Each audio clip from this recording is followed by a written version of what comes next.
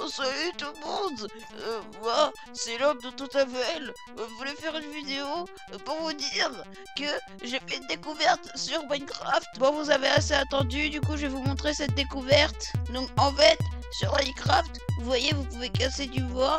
Et ce qui est incroyable, et bah, c'est que ce bois, vous pouvez le transformer en planche.